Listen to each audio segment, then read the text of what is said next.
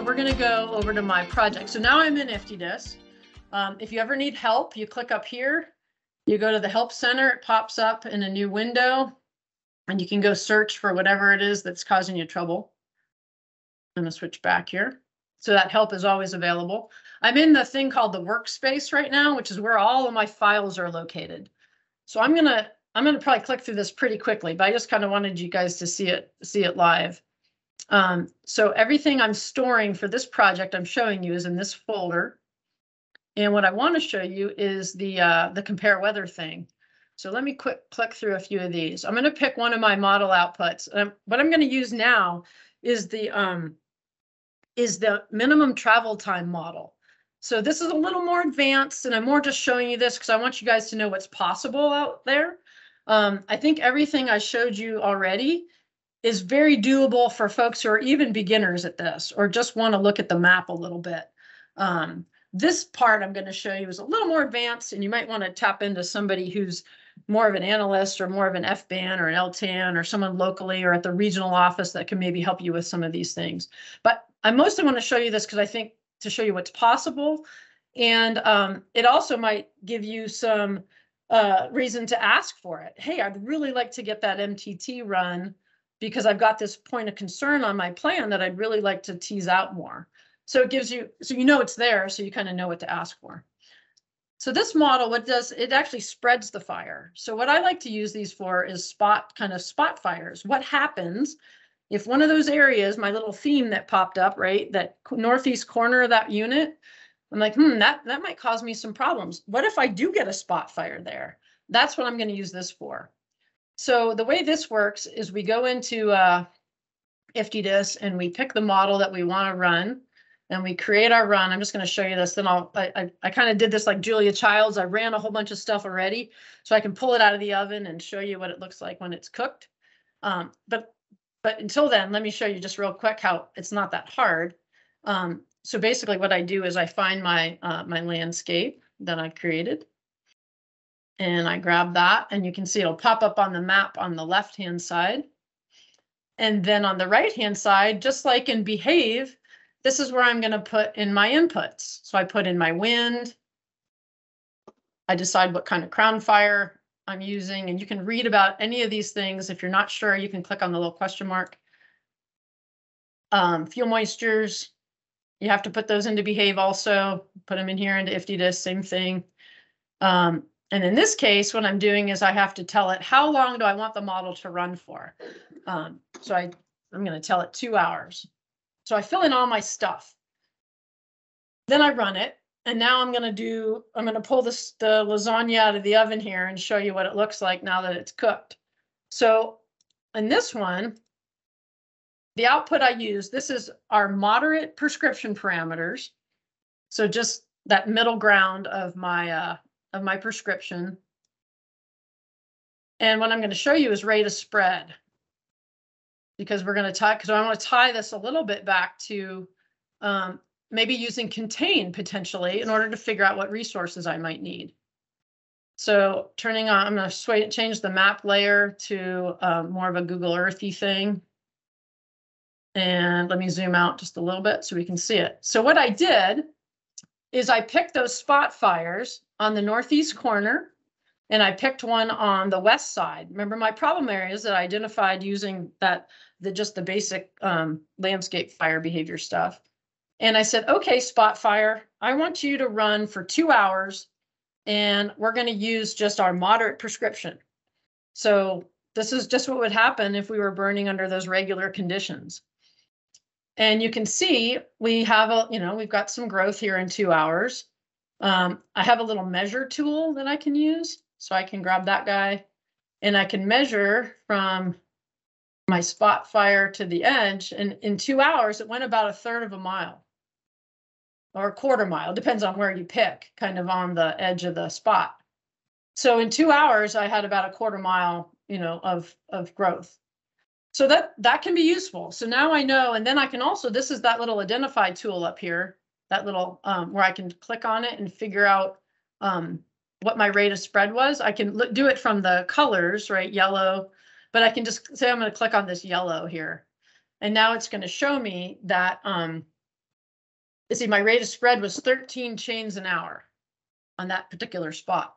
So I could go back to my production tables and sort of do my own version of contain where I go, well, if this thing's running at 13 chains an hour, what types of resources would I need to get around something like that? Or I could just go into contain and behave and just run my contain model. But at least now I've got it tied to a location. And I think those things can be really powerful when you put those things together. So you can do a, you can use this tool a lot of different ways. But this little, so this was, remember, this was a west wind, a straight uh, wind out of, out of the west.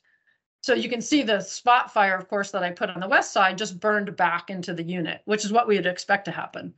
So not, not terribly concerned about this west side with a west wind. But this east, this northeast corner is a little more of a, of an issue. So now, so what I did is I went in and I ran three different runs using my different prescription parameters. And that compare weather tool in IFTDSS, so hang with me as I click through a few things. Um, I've got this compare weather tool, and that's where, again, you, you look at them side by side. So I'm going to go to my workspace. I already ran this again. We're pulling the lasagna out of the oven here. And I'm just going to go ahead. You have these filters up here that make things really easy to find stuff. So this is my um, my my spread comparison. And I'm going to look at that here on the uh, on the map. Let me add in my boundary so it's easier to see. And I want to look at rate of spread. And sorry, we're actually having a little issue with this. The thumbnails are not showing up. So just hang with me on this. I'm gonna go to the map here in just a second. But you can see I've got three different options, um, left, middle, and right. And basically they are my regular prescription, then a prescription where I amped up the winds to about 15 miles an hour to see if I got these gusty winds, what would happen. And then I did another one where the wind switched on me and went came out of the other direction. So let me go to the map. It'll be easier to see this. Um, so you just you you line this up, you run it, you give it a name, you save it, and then you can go to the map. Hopefully that's not too laggy. And now, hold on a second, let me zoom out again. Done. Okay, so this is my original that I just showed you. So that's with just that wind that is, um, that's a regular, just my regular prescription. Okay, so I looked at that. That's good. Now this next one is, you can see it says 25 miles an hour. I added another 10 miles an hour to the wind. What happens if I got a wind gust or something I didn't expect? Um, everything else remaining the same. The only thing that changed is the wind. You can see my spread distance is quite a bit further now. So that's that's informative. Okay, that's some gusty wind action. Now what happens if I the wind switched on me and I got a wind out of the east? Now I've got this issue here on the west side of my burn.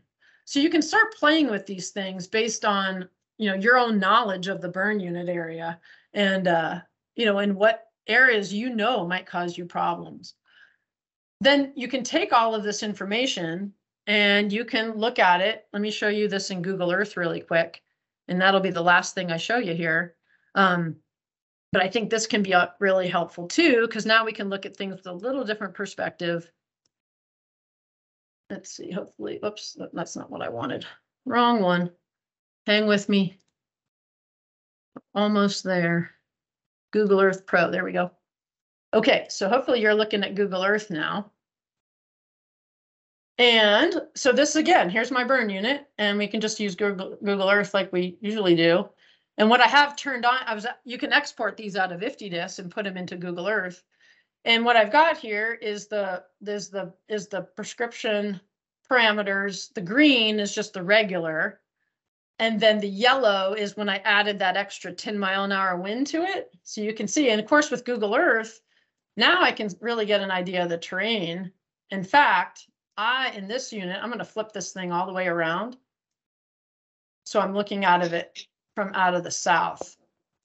Now you can really get a much better idea of what's happening. So again, now the wind is coming, still a west wind, but now you can see, the reason this we had a greater rate of spread here is because you can see the fuel model change, right? It's much more grassy. The other, th- so then that's with just the regular west wind. Now I could turn those off and turn on my wind switch and see what, now that's, now that's if my wind switched on me. And I can see now, again, you can get a much better idea of the terrain here of what would happen if I had that switch and the fire moved outside of my boundary off to the uh, west. Remember, I flipped the map around, so we're actually looking south right now. But that's the beautiful thing about Google Earth, right? Is we can we can we can take a look at all different angles here and see uh and and really look at the terrain, the access, and that should all play into our holding plan.